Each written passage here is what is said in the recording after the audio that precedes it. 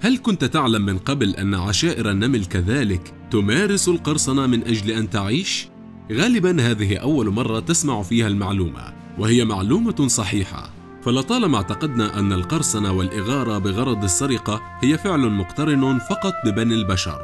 حتى تبين أن القرصنة منتشرة كذلك في مجتمعات النمل حيث تهجم فصيلة معينة على فصائل أخرى بغرض السرقة وليست أي سرقة إنما تقوم بأسر الأفراد بوخطف ما يوجد في العشيرة.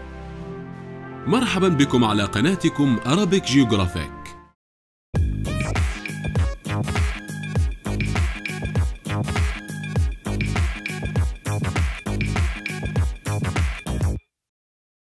النمل تلك الكائنات المتناهية في الصغر والتي لطالما أثارت إعجاب وفضول الإنسان. بنظامها وأسلوب حياتها الاجتماعي المنظم جدا والذي يعيش في إطار مستعمرات وفق حياة ونظام اجتماعي دقيق جدا كما لو أنه يتبع شرائع إنسانية موضوعة بدقة.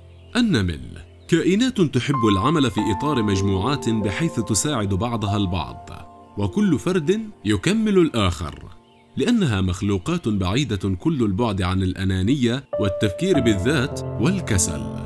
يعيش النمل في قبيلة قائمة الذات وفق نظام طبقي محدد بحيث تتكون هذه القبيلة أو العشيرة من الملكة والذكور والخادمات بحيث أن كل فرد من أفرادها له دور محدد يعرفه جيدا ويقوم به على أكمل وجه. حياة النمل عادة تكون هادئة وعادة يعيشون في اطمئنان. لكن قد يحدث أحيانا أن تتدخل كائنات غير مرغوبة فيها لكي تكسر جو الهدوء هذا. هذه الكائنات غير المرغوبة والتي سوف تكون موضوع حلقتنا لهذا اليوم هي فصيلة عدوانية من النمل. شغلها الشاغل هو تهديد باقي فصائل النمل. بحيث يصل بها الأمر إلى الهجوم على عشائر النمل الأخرى والاعتداء على جميع مكوناتها ابتداء من الملكة وصولا إلى الخادمات ومرورا بالذكور.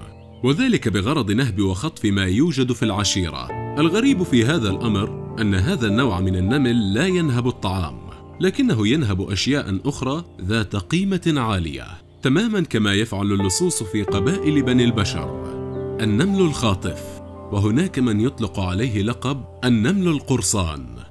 هو نوع كبير الحجم نسبيا مقارنة بالنمل العادي. في العادة يكون لونه أحمرا وذو نزعة عدوانية. وظيفته الأساسية هي الهجوم والإغارة على أعشاش غيره من النمل الذي يصغره حجما. بل الأكثر من ذلك تقوم بأسر الأفراد وتسوقهم إلى أعشاشها لكي تسخرها لخدمتها فيما بعد. وإلى حدود اليوم لا زال المختصون لم يصلوا إلى تفسير علمي منطقي عن كيفية اكتساب هذا النوع من النمل لهذه الخاصية. أما تفاصيل رحلة الإغارة على قبائل النمل الأسود فهي باختصار كالتالي. يخرج واحد من النمل لاستكشاف المنطقة المحيطة. غرضه الأساسي هو البحث عن مستعمرات أخرى للنمل بصفة عامة وبصفة خاصة في مستعمرات النمل الأسود. لأن هذا الأخير هو الضحية المفضلة للنمل الخاطف. بعد العثور على مستعمرة نمل جديدة يعود النمل المستكشف إلى عشيرته من النمل الخاطف ليخبرهم بمكانها لتبدأ بعدها الاستعدادات لشن الهجوم على المستعمرات المستكشفة. في بداية المعركة تحدث فوضى كبيرة في القبيلة الضحية بحيث أنها تصبح مزدحمة عند المدخل. وذلك قبل أن تبدأ مجموعة قليلة من الغزاة بالتحرك داخل القبيلة حيث يتبعها الباقي. يبدأ هجوم آلاف النمل الخاطف على مستعمرة الضحية. يطلق النمل أصواتا تشبه صافرات الإنذار لتعلم باقي العشيرة بوجود الخطر. يسارع النمل الضحية لأجل سد مدخل القبيلة بالحصى والعصي الصغيرة. بما يؤدي إلى حصول ارتباك واضطراب في القبيلة. يبدأ النمل الخاطف بالحفر وإزاحة الحصى والعصي الصغيرة وأي شيء قد يعيق تقدمه نحو القبيلة. يتحول المكان إلى ساحة معركة حقيقية.